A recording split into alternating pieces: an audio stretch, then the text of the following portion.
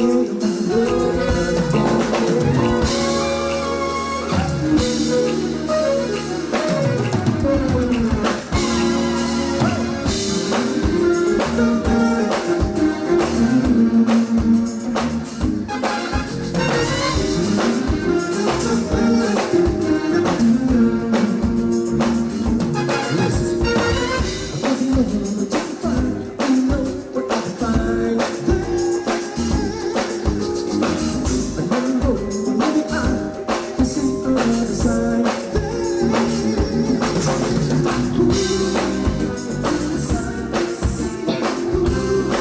think you the words. Let me hear you, everybody.